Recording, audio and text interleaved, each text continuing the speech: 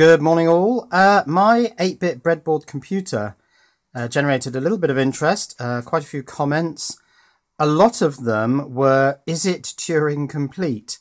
Well, to answer that, I had to read the article on Turing completeness, and it probably isn't Turing complete because you can't, at the moment, uh, write to the program counter.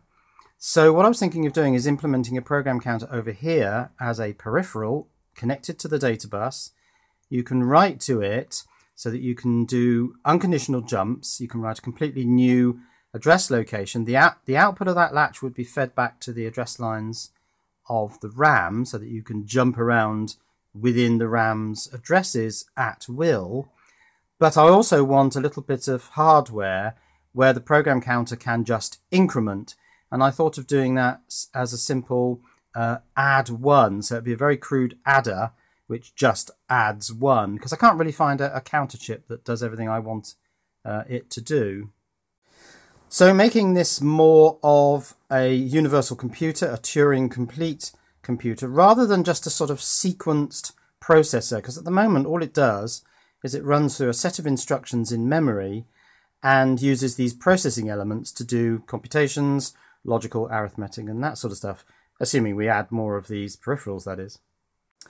Um, another question that came up quite a lot is, can we have the schematic? Well, you could, but it doesn't really, it's not, it's not complete yet. I mean, I haven't shown you a finished product as such yet. This is still very much a work in progress and it's going to change and it's going to change a lot. So there's probably not much point providing a schematic yet.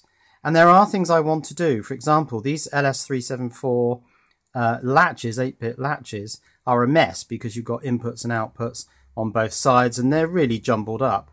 So I want to switch to the 574, which has all the inputs on one side, all the outputs on the other. They're all uh, neatly lined up in, in the right uh, sequence. Um, but you can't get them in LS very easily.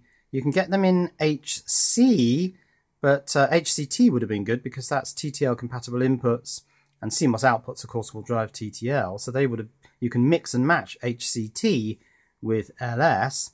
Uh, but you can't get them in HCT very well either. So it's going to have to be HC, which means making the peripheral section of this computer completely CMOS and using HC devices. You can get HC uh, 574s quite easily. Even Alice has HC 574. So that needs to be done. And then it will be visibly much easier to understand what's going on because the data bus will all be on one side and the peripheral outputs will all be on the other side. Um, another thing I want to do is I want to tidy up this um, LED situation. So here, for example, I've got eight LEDs and they don't fit in the space, so they're all splayed out. Um, I want to use these little LED bars. Now, you can't get them in 8-bit very easily, but you can get them very easily in 10-bit, uh, presumably for use with the LM3914, LM3915 VU meter, uh, which drives 10 LEDs. However, um, we were talking... Now, who was it?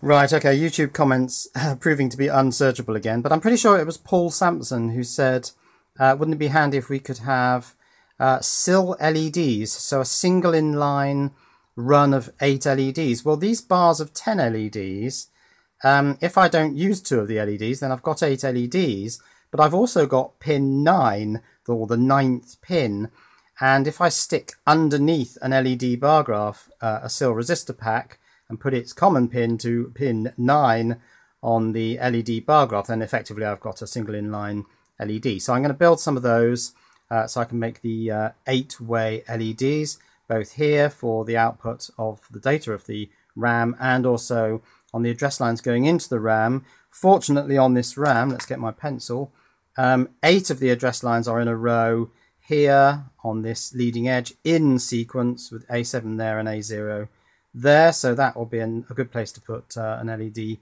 8-bit uh, bar. Now there are also one or two issues I want to resolve. Um, right over here at the clock, where I've got this uh, switchable with this little slide switch, uh, single step and free running oscillator.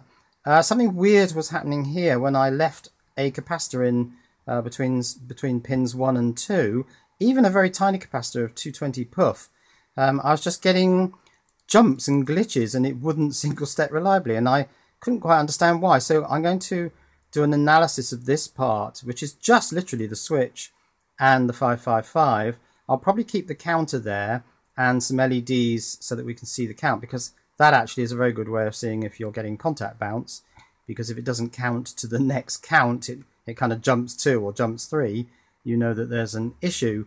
Uh, so I'll probably look at that 555 circuit in a video on its own and I'll do that with uh, a full schematic of what I've done there. So I'll kind of introduce schematics of uh, various bits of this as I go along in various other videos. But uh, it works well, and I think it's worth uh, pursuing this and taking it to the next level, so I'm definitely not uh, abandoning this one yet. Actually, one of the biggest problems I had with this was power. It just seems that a single point of contact between a wire and the bus bars just isn't good enough. So I had to make up these little triple uh, headers so that you can uh, get three points of contact. Better put that in the right hole. Okay, that's uh, lost my program, but it's easy to restore that.